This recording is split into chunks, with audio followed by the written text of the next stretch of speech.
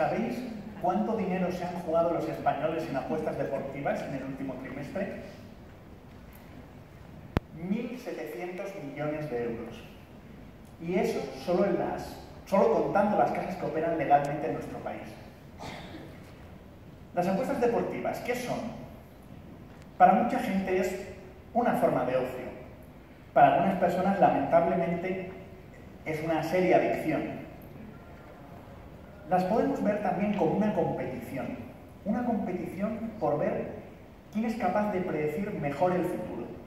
En este caso, el futuro sobre algo tan trivial, pero a la vez tan importante como el fútbol. ¿Y qué es la modelización y el data science? Pues se trata de analizar información para encontrar patrones que precisamente nos permitan predecir mejor.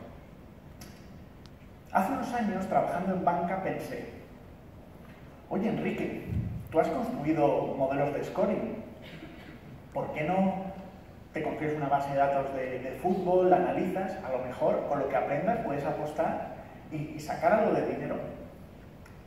En aquel momento todavía estaba soltero, no tenía niños pequeños y tenía tiempo libre y me puse a ello. Construí una base de datos con más de 100.000 partidos de fútbol y un montón de variables explicativas de ambos equipos. Y lo más interesante, con las cuotas que ofrecían varias casas de apuestas en esos eventos. Con lo cual podía probar qué estrategias hubieran sido rentables y cuáles no. ¿Y qué se observa cuando comienzas a, torturar los datos? Pues empiezas a observar algunas características de la psicología humana y algunos sesgos que, en los que incurren los apostadores cuando se trata de predecir. El primero de esos sesgos es que los apostadores se centran demasiado en los resultados de los equipos y demasiado poco en su nivel de juego. A medio plazo, nivel de juego y resultados van de la mano, pero a corto plazo no necesariamente. Imaginemos un equipo que ha ganado sus últimos partidos. Mucha gente se pone a apostar a favor de ese equipo, pero cabría preguntarse, ¿ha ganado porque está jugando bien o porque ha tenido suerte? Yo os digo que si ha ganado marcando un único gol, que ha logrado la única vez que ha tirado a la portería contraria, es que ha ganado por suerte. Y así deberíamos tratarlo a la hora de, pronosticar. Eh, las variables ligadas al nivel de juego, como los tiros o los goles, son mucho más predictivas que las ligadas directamente a resultados, como serían puntos o porcentaje de victorias. Otro sesgo que cometen los apostadores es que se centran en los partidos más recientes de cada equipo.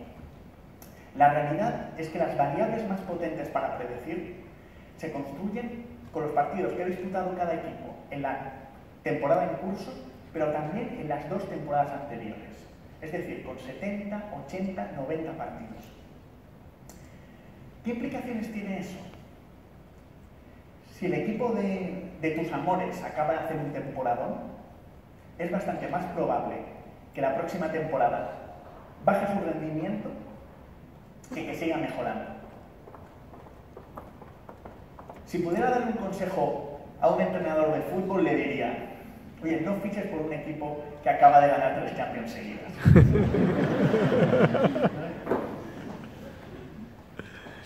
Otro de los aspectos que afecta al rendimiento de los equipos y que a la vez es más difícil de modelizar es la motivación. Por ejemplo, los equipos que están en mitad de la tabla, cuando llegan las últimas jornadas de liga, pegan un bajón en su, en su rendimiento. Ya no se juegan nada, no pueden clasificarse para Europa, no van a descender. Por el contrario, los equipos que bordean el descenso pegan un subidón de rendimiento en las últimas jornadas. Y eso además en el mundo del fútbol se puede medir y se ve que ocurre en Italia, en Francia, en Alemania, en España. Es, es humano, es un comportamiento profundamente humano. Eso a la hora de modelizar es todo un desafío porque significa que las correlaciones varían en función de en qué momento de la temporada nos encontremos. Otro aspecto que afecta a la motivación en ocasiones es la sed de venganza. Sí, sí, la sed de venganza. Cuando un equipo humilla a otro, suele ser interesante apostar a favor del equipo humillado en la siguiente oportunidad que ambos equipos se enfrentan. Así que ya sabéis lo que tenéis que hacer en el próximo Madrid-Barça.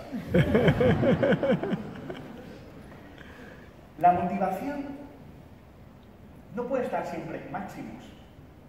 Por su propia naturaleza es inconstante. Cuando un equipo ha jugado un partido muy importante y ha logrado un buen resultado, por ejemplo contra el Madrid o contra el Barça, en el siguiente encuentro suele pegar un bajón. Pensemos en el Betis, ¿no? El, fin de semana pasado ganó al Barcelona en el Camp Nou. ¿Qué habrán hecho los jugadores del Betis después del partido? ¿Saldrán igual de motivados en el próximo encuentro contra el Villarreal? Viendo los datos, vemos que no suele ser así, que la motivación baja después del gran día, ¿no?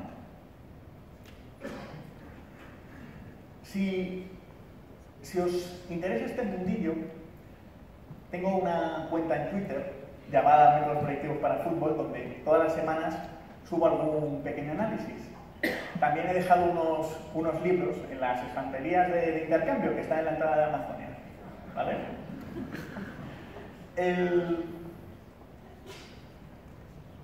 Cuando ya tenía construido mi modelo y conforme iba apostando, me comencé a dar cuenta que en algunas casas lograba ganar dinero, pero en otras no lograba ganar dinero. ¿Por qué? Porque no todas las casas predicen igual. A la hora de predecir el, futuro, no se trata de hacerlo perfectamente, es, imposible. Se trata de predecir lo mejor que tienes delante. Imaginaros que tenéis unas acciones y estáis pensando en venderlas. Si se presentara en la puerta de vuestra casa el inversor más exitoso del mundo, como Warren Buffett, queriendo comprarlas, ¿qué pensaríais?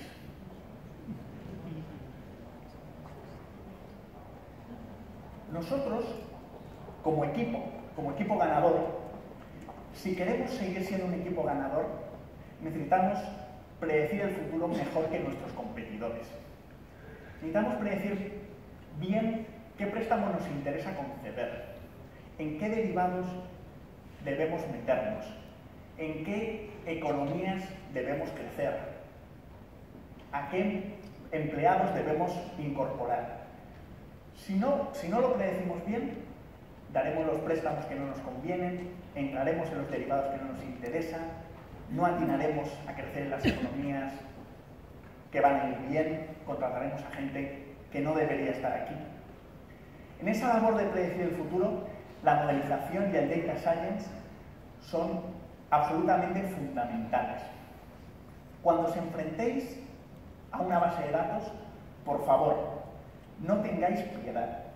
Torturarla por arriba, por abajo, por la izquierda, por la derecha, por el centro, Usar las técnicas de modelización convencionales, pero también ejecutar cualquier query, cualquier análisis que se os pase por la cabeza,